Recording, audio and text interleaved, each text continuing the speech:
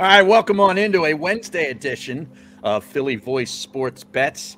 He is Matt Chirico in the upper left hand corner. I am Harry Mayes, and of course, he is Eytan Shander, bedecked in his Huntingdon Valley Country Club pink shirt. I love this shirt. Thank it's you. All, and he had the beanie on for a little while. He was going HVCC on top of HVCC. Here it is. See if I can get it there going it with the headphones. You know, yeah, my mom is a big fan of the beanie uh, on Eytan. And Chirico is sitting in his Fortnite chair in front of all of his New York uh, memorabilia. I can see a big Yankees yep. thing back there. So we got yep. a lot going on today. Oh, and boy. we also have a new graphic. We yeah, see the new graphics here. So yeah, good job uh, nice out of job, Chirico with that.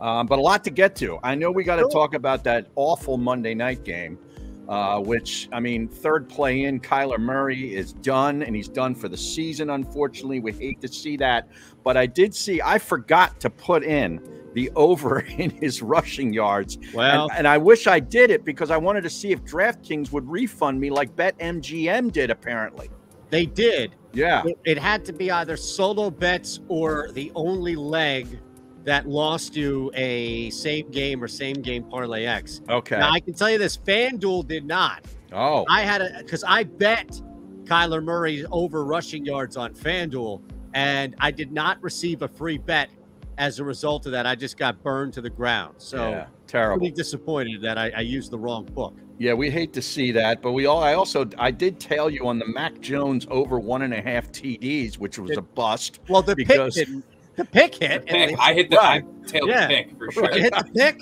No. I mean, my God, Harry, we hit the side and we hit the total. I know, player prop. God, it, how, how do they how do they score 27 points and he not throw two touchdowns? I, I have no I, idea. And and Rhamondre Stevenson got hurt in like yes. the first quarter. Everybody got hurt. It, yep. it, makes no. Hunter Henry had a shot on that long one. Yes, it, it makes no. He got tackled at the four, I think. It makes no sense. Okay? That game sucked six yeah. ways to Sunday. But I will point out, uh, Cliff Kingsbury is going to be available and available very soon, possibly to take the Mississippi State position Correct. because he did play for the Pirate at Texas Tech and runs essentially the same type of offense. It would be a great fit. He's going to be unemployed. He stinks at the NFL level. Yeah. The Arizona Cardinals are 1 and 12 straight up in their last 13 home games. Think about that. No, no, no. It's it's so bad. Let me tell you this, Harry.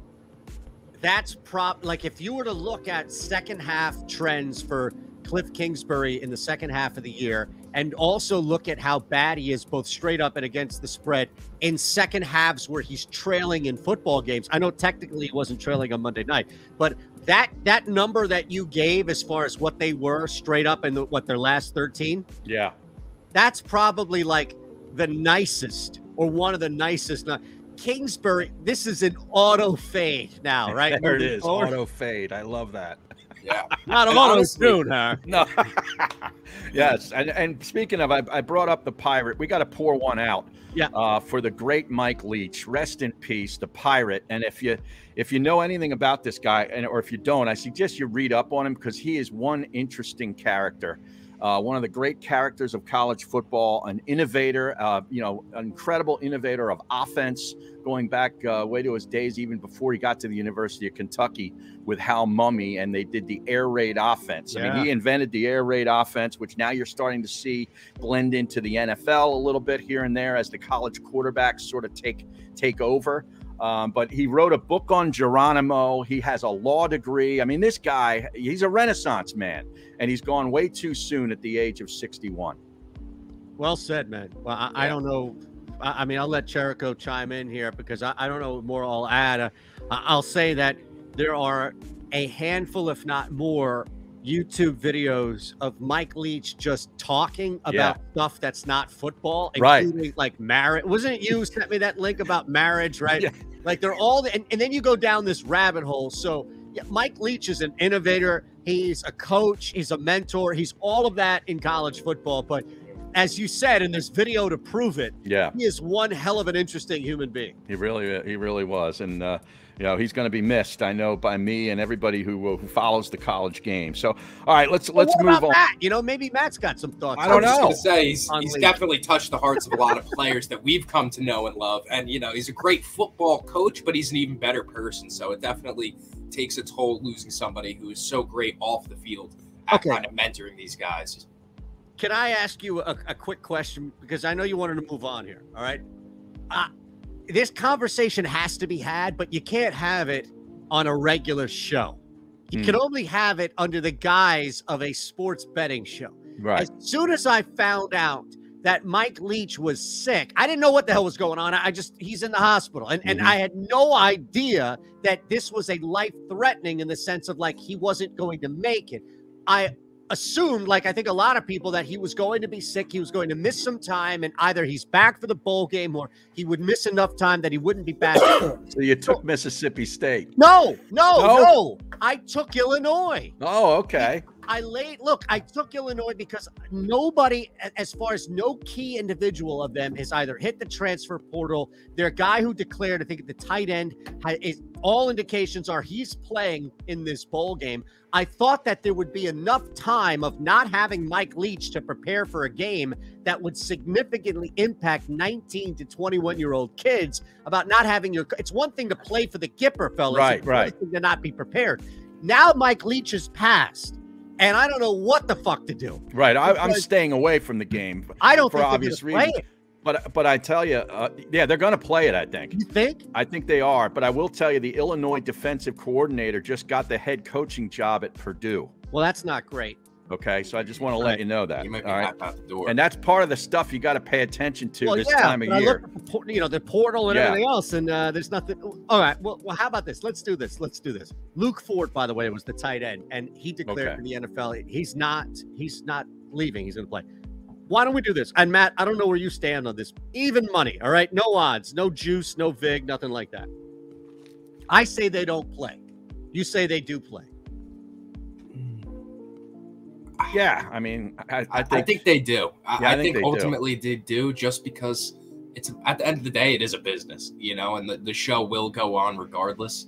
And unfortunately, I think even despite him passing, I think they still make him play the game. You guys Right. are, are heartless. no, I just think they make a big deal out of Mike Leach. It's the, it's kind of their opportunity to, you know, it's for the network. ESPN is probably carrying it Oh, to make a big, can't you know, Mike Leach thing. You know, Well, I have no doubt that there's some suit, some penguin head up Yeah. in the corner office in Bristol, Connecticut. Ah, we got to get this bowl game out there. So How we can can we- maximize how the can we get Rinaldi back Yeah, from exactly. Fox just for this game? right, right. I mean, No, I get it. I, there's going to be a push for it. I, that's all. I, I just wanted to bring that out there in case anybody else had that ticket. Like, I, I think it's a pass right now, but yeah. I jumped on it expecting Leach to be there. And now that he's not, I feel like I'm kind of screwed. Well, maybe you can go on PropSwap with that one. Who Maybe. knows? But but I think that, you know the best thing about some of these meaningless bowl games, and most of them, ninety eight percent of them are meaningless, is it's an in game pro- uh, opportunity. You you determine which team looks like they want to be there,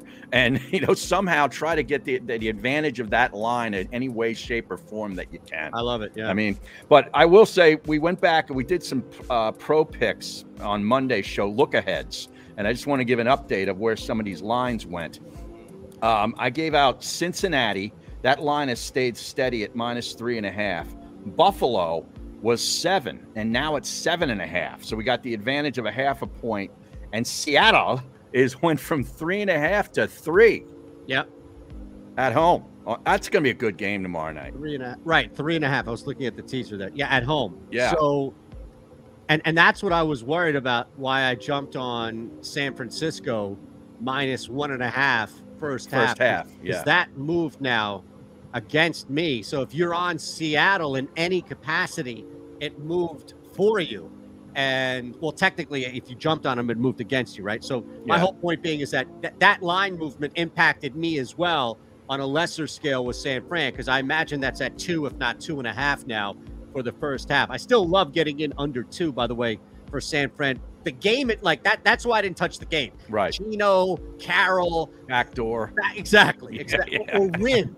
Like it has Right. backdoor win written all over it. Yeah. Uh, Yeah. How about this one? We got the Rams, Harry, plus eight. That I believe is still down to plus seven now.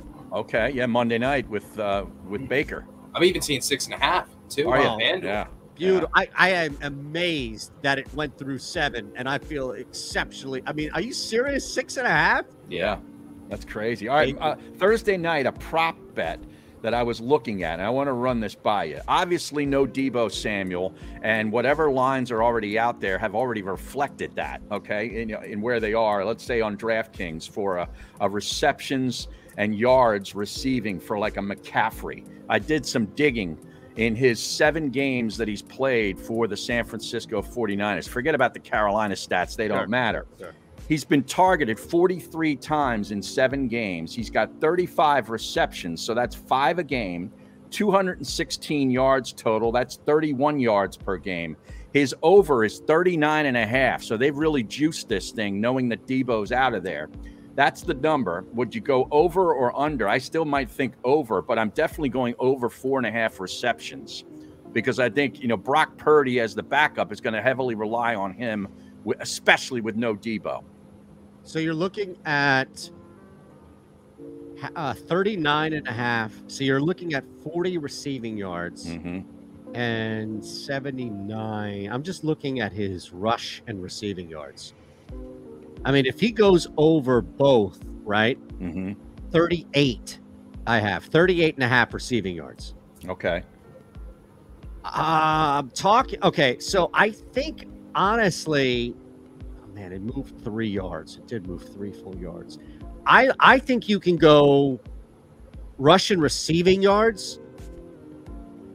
It's at 121 and a half. That's a big number, hmm but you're already going over receiving yards. The problem is that it's juiced, right? Right. And you don't want to go over that at what minus 140. Yes. Yeah, that's a little tough that one. But Well, actually, hold on a second. No, it's minus 110 on DraftKings. I Oh. I have Okay. yeah, I have 37 and a half minus 115. yeah. I don't know. I'm surprised he didn't hit the rushing stat. To be honest with you, I I think receptions is the way to go of those two. But Okay. I'd also throw in at McCaffrey over 70. Look, I think 78 and a half, 79 and a half is probably uh, a lot. It's 78 and a half right now. If you could get McCaffrey maybe on like FanDuel for 80 plus or something like that, it, it might move it a little bit more. But 78 and a half is fine for me. I, so I would tail your receptions and then also add in the over on rushing. And by game time, those numbers probably go up anyway. Well, the rushing has already gone up Okay. five Oh, wow. or, or pardon me, three since yesterday morning. Okay. So this was at 75 and a half, and now it's at 78 and a half. So you're right. It's it's going to keep going up. Okay. I don't see a buyback of like 80 yards on Christian McCaffrey under. Right. People Right. think he's going to run all over this team. Yeah, I was looking. Um, it's funny because Kyle Shanahan is such a mastermind that you would think missing your number one quarterback, now you're missing Debo Samuel. You would think like everybody else on the team is going to be impacted negatively, losing talent like that. But Kyle Shanahan is just so smart that we don't doubt he's going to use these other guys in such crazy aspects of an offensive game. I have George Kittle going over in his receptions just because I think he's going to be able to get a lot of dump offs, be that safety blanket for Purdy throughout this uh, this game against the Seahawks because obviously the Seahawks have a solid secondary. I Right. think he's going to be looking to pass the ball, and then he's going to oftentimes find himself looking at Kittle in kind of that lower layer just because that secondary is so clamped down. So sitting at three and a half receptions, I like the over for minus 115. That's a good call, man. I mean, I you could definitely see one thing they'd love to do with Debo is get him the ball fast, right? Like as quick as possible. And you could see not the same exact play, but you can see that mentality of trying to get the ball to Kittle fast and work some one on ones with him, even if it's like a quasi tight end half wide Exactly. receiver. They're so Right. big on yards after catch. Yeah. They Yes, love that- just giving the guy ball in space and Yep. let him kind of work with it.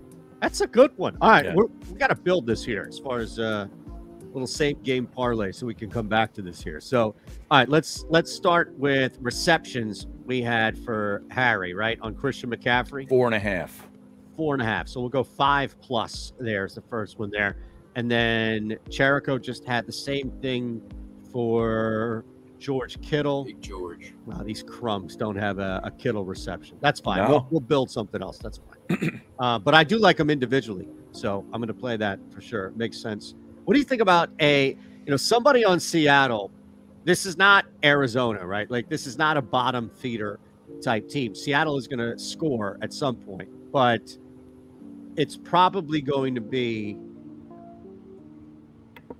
You know, I, I wonder if you take a shot on their defense or if you take a shot on, you know, somebody like Will Dissly, Mm. like out there, red zone, not Noah Fant, like the number one guy, but right. I don't know. Just it feels it's a Thursday night game. It's Seattle. It feels like it's not going to be the typical Goodwin slash Lockett who's going to dominate. You know, Right. I mean, maybe Homer. You're getting plus odds for Homer, so I don't know.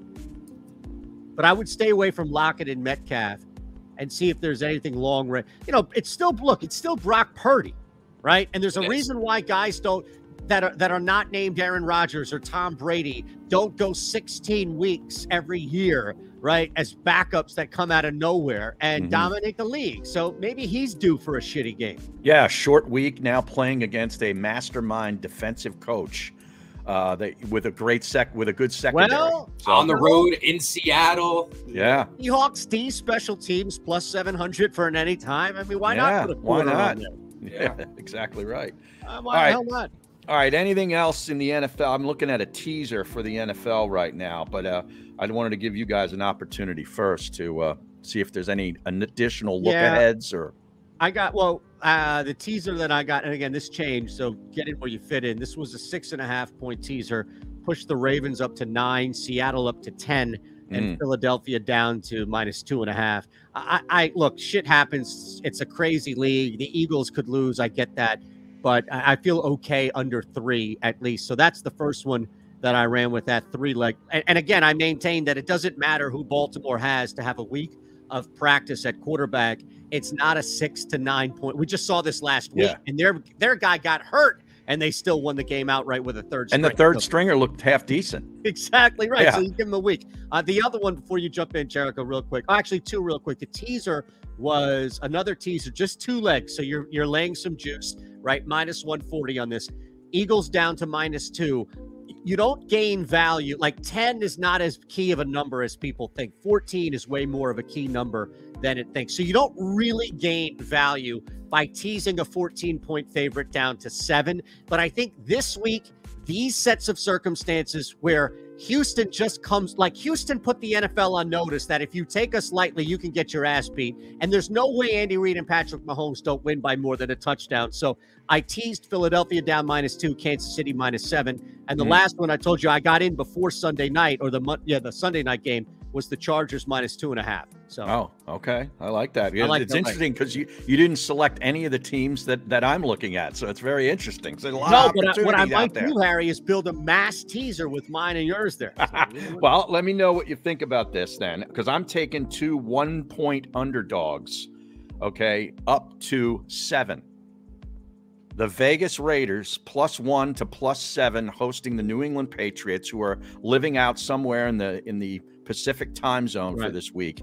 Um, the Raiders seem to always be in games. They lose games a lot, but they'll lose them by four or five points. Uh, I don't see them getting blown out, and I don't see them getting blown out by Mac Jones. So I like them plus the seven. And the Detroit Lions going on the road to the Jets. I think this is going to be a really entertaining game and a close one. I'm taking the seven. Yeah, I uh I don't know what to do with that Jets game, Matt. I don't know what you what you think, but Honestly, I was thinking away. I, I really do like the Detroit Lions. Like the more that they are getting healthy towards the end of the season, the more I'm kind of opening up towards them. Um, I think Mike White has peaked in the NFL. I think Mm. the last two weeks, not last week, obviously, because he got folded in half, lawn chair style. But the few weeks before that, I think were his peak in the NFL.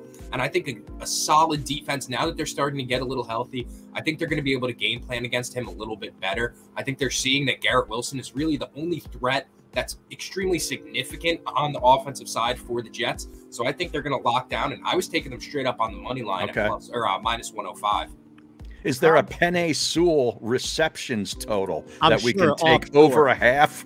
Come on, well, let me check offshore. Let me, let me see if I can That find could get something. interesting. Did you see that play last week? Yeah, I and and I needed that stop. By the way, There- there was some bet that I had in that game that I needed that stop, Yeah. and my God, that play killed it. Whatever How it was. athletic is he, though? I mean, he Yeah, had to re- sort of man moving. reverse. He had to reverse his body to catch that ball, and then have the wherewithal to know where he had to be to get over the, the first down marker, and he dove. It was it was I a, tell you, man. a genius play. There's a lot of rope drills are. Yeah, exactly right. Another one that I liked. Uh, I was taking the Cincinnati Bengals. They've won five in a row now. Five Yeah. big wins. Yeah, they're They're coming. getting right. Yeah, they are on the way. Joe Burrow finally finding that kind of groove again with Yeah. Ja'Marr Chase. Ja'Marr's back on the field. And honestly, Tampa Bay has been so lackluster. I'm Mhm. not really afraid to bet against Tom Brady anymore. He looked 46 years old last He week. did. He, He really did. Father He time. missed a lot of open receivers. That was the the, the eye opening thing for me. Yeah, it, You know- it really is. I mean, at this point, I think it's just over. Yeah. Yep. Yeah, I agree. I'm taking the minus four, minus 102. Uh, I really think the Bengals are just going to continue this offensive barrage that they've been having. Beautiful. And Any more of, NBA uh, stuff? Any ooh, uh, the NBA has been. I don't even know what to make. I of got the NBA. college, in fact, because Oh, college. I, I look. Don't know give me. Kennesaw State or I know, the I Citadel. I went three and one on a night on uh, my Discord, and of course, the one I gave out here that loses. So I, I'm going to come right back. Uh, player props. If you can find these, my God, these are Smash Central, but they don't come out as early as we do the show. So Mhm. I'll just give you the two, and uh, we'll go from there. First off, love Drexel and the spot tonight. Oh, the Dragons. Love Drexel. If you can get a first half play, I think that would be the one, eight or higher. But I, I'll take them at 14 and a half if you can still get that when you're watching this. Look, Seton Hall comes off a gigantic victory against Rutgers. They're at home. They're taking on a team that they know they're significantly better than. There's going to be some letdown in this game, either at the start or at the end, opening up a backdoor cover. Where is this game? Uh, it's at Seton Hall. Oh, okay. And Drexel comes off a big one. Look, they, they were getting their ass kicked locally. They finally get a local win. So I think there's a little momentum for them on the road. And I think they can steal at, at either a first half or a backdoor cover. And then the last one, I just think this line is off. I don't have a lot of analysis, but Georgia Southern minus four, you can get that on PointsBet. It's three everywhere else. And I want to line shop that one. Okay. All right. All right. And NBA Wow. wise, uh, yeah, college, too Harry. That's where it's at. The college place. Yeah. Fuck the NBA. I hate it. Yeah, no, I was just gonna say NBA doesn't even really have player love props up for it. today so far. So I was just looking um I got one for you, Jericho, that I was that I already bet that I'm going to bounce off you. But go ahead. Okay, all right. I got uh Cavs Mavericks over 215 and a half tonight. Um, I think this is a clear over type of game. Donovan Mitchell and Luka Doncic. I mean, that's as much offense as you could really ask. There's not going to be much defense played on either side of the ball. So I think that kind of speaks for itself. And uh, over 215 and a half, I think we should hit that one. Honestly, it could hit in the third quarter. So Wow. Uh, I love that you brought that game up. Let's stay there if we can, real quick, Harry, because I took. All right, Evan Mobley's rebound prop is eight and a half, and it's minus 140. His double double is plus 140. He's gonna get a double double tonight. He's gonna score Yeah. double digit points. So mm. essentially, what you're doing is betting 10 rebounds at Right. plus 140 for Evan Mobley. it's a great. So I really Yeah. like that one. And then there's another one. That's shrewd right there. Look, I mean, look, that, that same, is same shrewd. mentality, same mentality. Over 19 and a half points and rebounds for Mason Plumlee. Oh, This is look, I know, hold your breath. All right. Look away, hold your nose, Oh. whatever you want here. But this is a guy who, uh, on a combination, should be hitting 20 every night. It's just a matter of how they come. So that should be 20 and a half on the books. If you could get it at 19 and a half, all I'm saying. all right. All right. What were the All right. odds on that too? Because I'm seeing that that could be some solid. Uh, I believe it's Solid minus. It should be minus one ten. I don't think you're getting anything plus because it's just a typical point rebound play. Let me look real quick in that Hornets Okay. game, but yeah, that uh, that would be the one Hmm. there. No, Miles Plumlee, honestly, he's been incredible this season in terms of props. If you've been, I don't know who came into the season betting on Miles Plumlee consistently, but I tip your hat, tip my hat to you because that guy's been cashing out. So yeah. I got, uh, Oh, I got one Mason, more for you. not Miles. got another As well. NBA? One, one last NBA play. Uh, I'm looking at the Atlanta Hawks going up against the Orlando Magic, and I think this is going to be a Trae Young type of game. So I'm looking at his points and assists anywhere over. Uh, I'm not getting a FanDuel number right now for some reason, but if I could get that anywhere over around like 25, 30, uh, I'm going to be comfortable taking it in there just because I don't know if you guys have seen the drama surrounding the Hawks as of late, but the whole story is that Trae Young is the cancer to that team. So I think today against a kind of lackluster Orlando Magic backcourt, defensively at least, um, I think he's going to have his way tonight. Isn't every Atlanta Hawks game a Trae Young type of game? It, it could be. And Yeah. that is the problem, too, because they Yeah. bring in a guy like Dejounte Murray, and it's like, oh, you should be, you know, sharing the wealth. And it's all about Trae Young all the time, and they're turning on him. I know he missed a game. He was not even on the bench for a game, and Yeah. he was asked about it, and it became this whole big thing. Yeah. Uh, so there must be some acrimony going on between him and the coach. But I don't hate the NBA, Eytan. I hate the hype. Well, I know. I, I hate betting on it. I guess there's a difference. All right, I'm going to have two bowl games on Friday: the Las Vegas. Bowl and the Fenway Bowl uh, for Friday's show. But until then, enjoy Thursday night football. Good luck with your bets, and we'll talk to you on Friday.